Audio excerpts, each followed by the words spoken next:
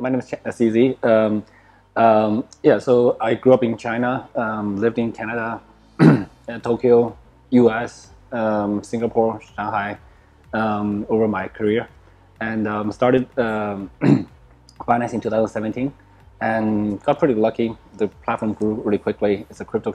It started as a crypto to crypto exchange. Um, now it's uh, a ecosystem of, of things. Um, it's also a fiat to crypto exchange. It's a spot exchange, futures exchange. Um, it has uh, we have a, uh, the most downloaded crypto wallet. We have the most crypto, most visited crypto information website, CoinMarketCap.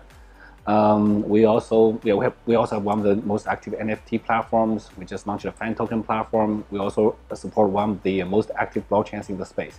So now it's an ecosystem of um, uh, crypto platforms. Yeah.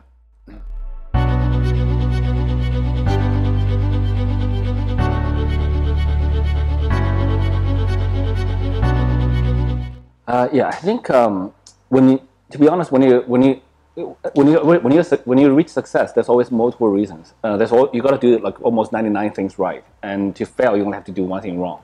But I think uh, it's very fundamental. Um, you have products, uh, you have service, and you have uh, trust, um, and I think those are the three key pillars for Binance. Um, on the product side, we do have a superior matching engine, uh, user interface. We support more languages. Uh, we support 32 languages, including Arabic.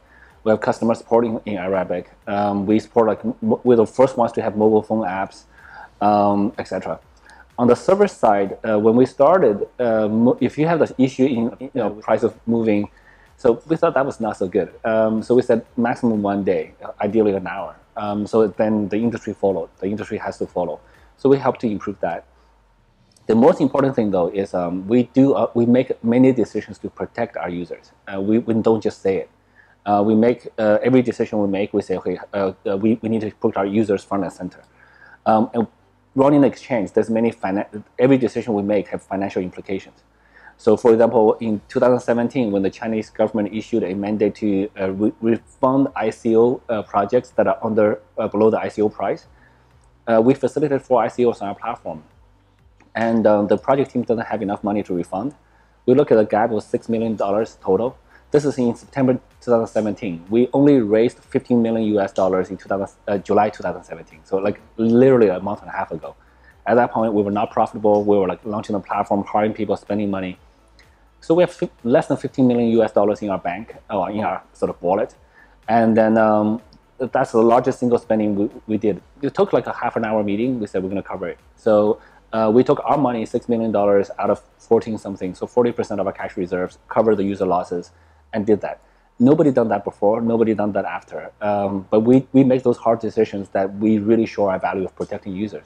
This is why we have the strong brand name. Users trust us uh, with, their, with their money. So um, yeah, so I think all of those things are important. There's a fourth factor, which is luck. You have to be a little bit lucky. Of course.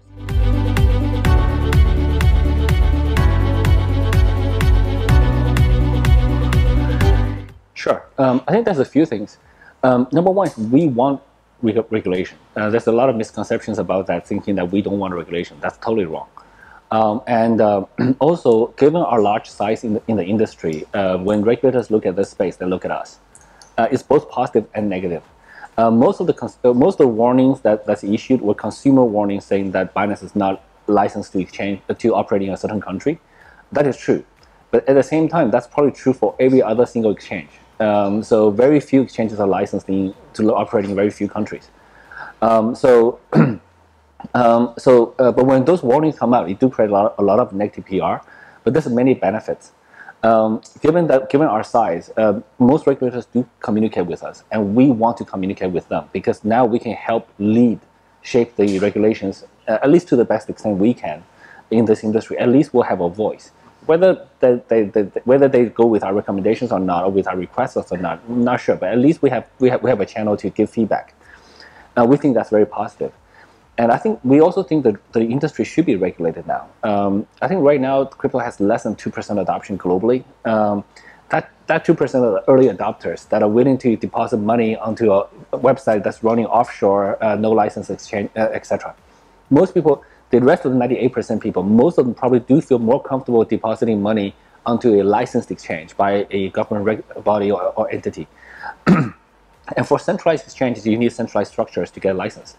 Um, and while many die-hard crypto fans, the early adopters, don't like to don't like fiat or etc.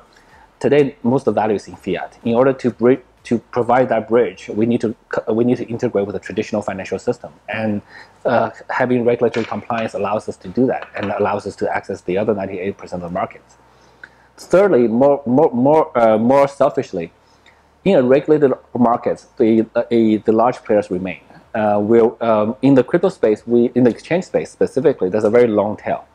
Um, based on third-party industry research, we're somewhere around 70% of market share. Our own research put a smaller number on it because we use a larger data set.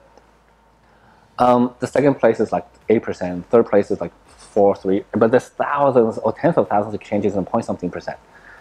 Um, in a regulated market, only a few larger players will remain, and actually, it's actually it helps us with market share, etc. So we have a lot of advantages um, uh, to gain from, uh, from being regulated. And we want to work with regulators to build a very healthy industry. We also have our own frameworks for listing criteria, how we do listing, how we do volume management, how we do customer support. We want to bake those into the regulatory framework that we want to build a healthy industry and make the industry grow. So for us to go from, let's say, 70% market share to 80% market share, we only grow 10%. Whereas if the industry grows 10x, even if we lose some market share, we will grow like 5x or 7x. So we want regulations, and we we very we, we work very closely with the regulators all around the world, and we have achieved some really amazing results. Uh, one specific instance is the UK FCA issued a warning on June 25th as a consumer warning saying we have no license to operate, which is true. Uh, by August 25th, they issued an update uh, saying that we the firm has complied with all the requirements. Um, the update is boring to cover, so no new, very few me, news media covered it. But for the people who understand, um, to within exactly two months, we are able to. Uh, uh, there was some, so much work we we we done in, in that in, in that period. So. Um, so at a high level, we do a number of things now. We, we hire a lot of ex-regulators to become our compliance teams. Um, they come in, they understand they can communicate in a language that, that the ex-colleagues understand. They have the trust of their ex-colleagues. When they, when they say something, their ex-colleagues believe that. Uh, when I say something, sometimes people are a little bit skeptical from the traditional world. They think I'm a crypto guy. Um, and then uh, uh, we are setting up a centralized structures, you know, uh, proper cap table, proper investors, proper board, proper governance structures, um, and uh, proper office, proper headquarters, etc. So that the regulators find it much easier to work with us. Um, we are taking a much more proactive compliance approach. Um, so before we wait for the regulators to ask us questions, now we go to them and say, look, um, let us explain everything about us. Uh, this is our legal structure, this is our cap table, this is how we do KYC, AML, security, wallet management, customer support, listing processes, anything else you want to know. Um, so we take that proactive approach, and, and uh, people love that. Uh, most regulators we, we offer that, they, they feel that's a not being arrogant, that's a learning opportunity for them to learn more about how, how the largest player operate in this space and how we become large. So, um, so we have a lot of opportunities to, to help shape it. Short term, we're also limiting quite a lot of our product offerings, like futures. Uh, we're limiting a lot of different countries that don't like it. Fine. Short term is a, it's a small hit. Will get us to the 98% market in the in the long term. Um, yeah, and so we're doing a lot of things. In, in uh, uh, we're doing a lot of real concrete action steps um, in this regard, and regulators actually do notice it. The mainstream media always do like to shed a little bit of a negative light on crypto. Uh, this like Bitcoin is still used by drug lords uh, in, in most articles.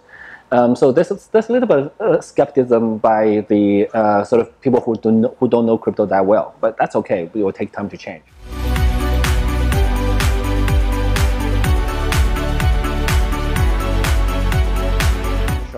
I would say a few things. Um, I would say getting in a very incremental way. So don't put all your savings into, into crypto right away. Um, that's dangerous on a number of fronts. Um, there's price volatility, there's security risk. You need to learn how to use wallets. You need how to you need to learn how to use exchanges. Um, if you don't use your exchanges properly, uh, if your computer gets a virus, and the hackers on your computer all the time, then you're gonna lose your money. Um, so um, so start with a small amount of money, um, say you know hundred dollars, thousand dollars, um, buy some crypto, buy some Bitcoin, buy some Ethereum, buy some BNB, transfer it, uh, understand how it works, understand the benefits of it, uh, have a have a wallet, understand how to back it up.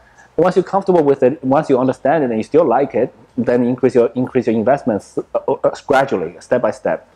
Um, there are a lot of security protocols to, to follow to secure your own cryptocurrencies. Uh, even if you use an exchange, you have to do that.